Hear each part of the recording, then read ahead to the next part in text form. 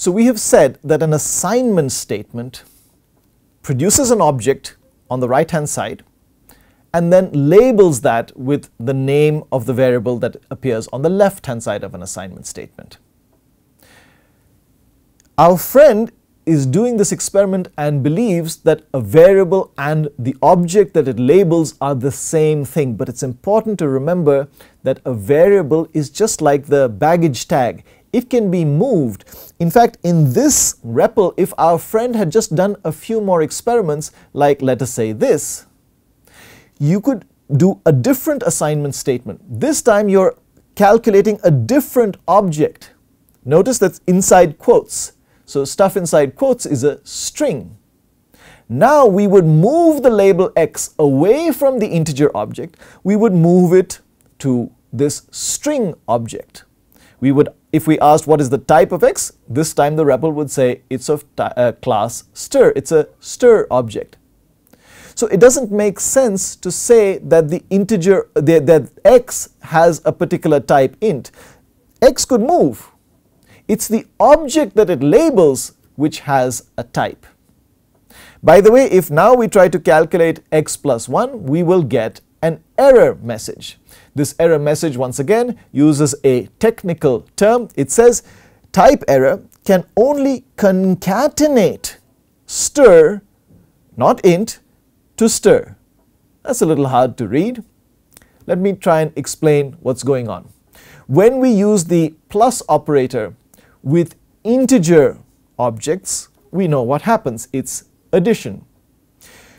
With uh, a string object like x, you can also do uh, a plus operator that will concatenate or glue together strings. But this error message is telling us that although this is a string, this is an int and Python doesn't know how to glue a string and an int.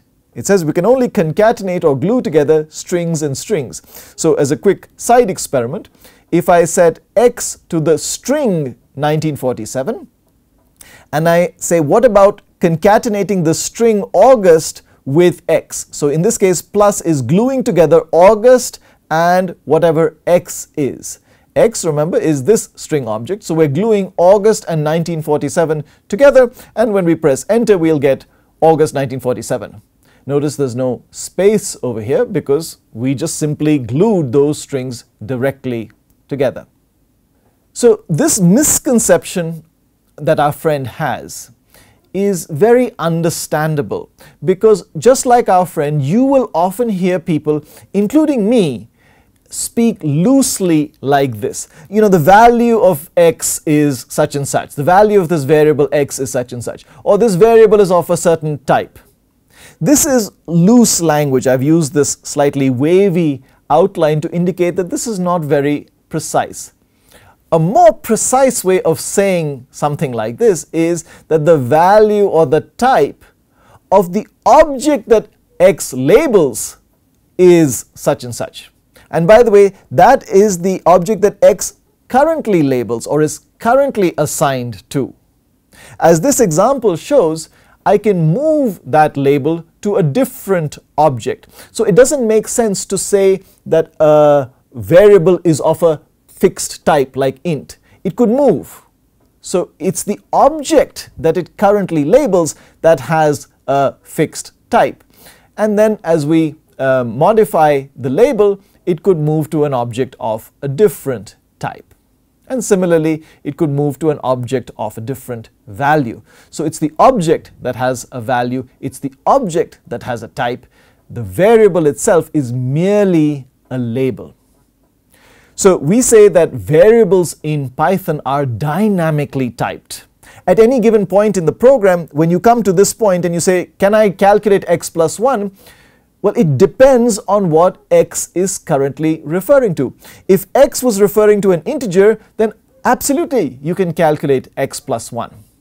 But if later on, at this point, x refers to a string object, you cannot add a string and an integer together because plus uh, corresponds to concatenation for strings and it corresponds to regular addition for integers and Python doesn't know how to do this combination.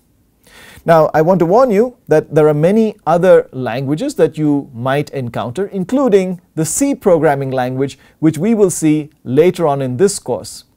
And in that language, variables are not dynamically typed. When you create a variable, and we shall see how to do that later on in those languages, at the time of creation, the type of the variable is fixed. Those are called statically typed languages. Python, however, is dynamically typed. Keep this metaphor in mind that a variable is just like a label. You can move it from one suitcase to another. It doesn't care what type of suitcase it is. You can attach the label to different types of objects.